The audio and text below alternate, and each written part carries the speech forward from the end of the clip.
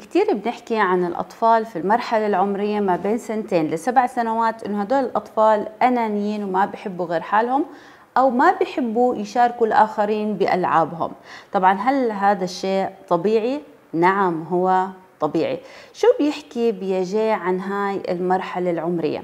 طبعا سمى هاي المرحلة هي مرحلة ما قبل العمليات وأكثر صفة مميزة للأطفال في هاي المرحلة إنهم هم متمركزين حول ذاتهم بحيث هم ما بيستوعبوا وجهة نظر الآخرين وبشوفوا أن كل الناس عم بتشوف نفس وجهة نظرهم.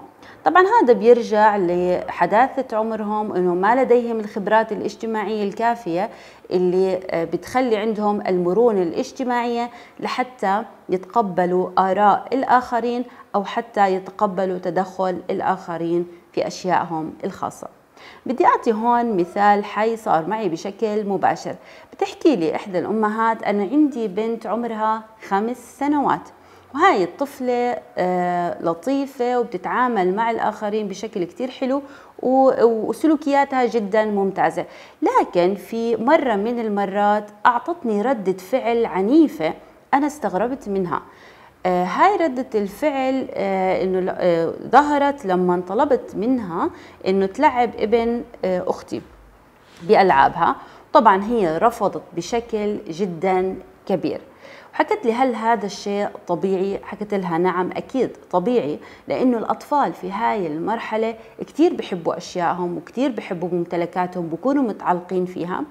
وفي حال بدهم يلعبوا الآخرين أنا بنصح نصيحة إنه ما يتم هذا الموضوع رغما عنهم وإنما يتم برضاهم الكامل. يعني في حال هي طلبتي من بنتك إنها تلعب هذا الولد بألعابها في حال قبلت برضاها أكيد ما في مشكلة. لكن في حال إنك ترغميها إنها تعطي ممتلكاتها للآخرين بصير في ضعف شخصية عند الطفل وبصير حتى ممتلكاته الخاصة آه، ما بيكون إلها خصوصية ودائما ضمن استعمال الآخرين وهذا الشيء بيكون على المدى البعيد.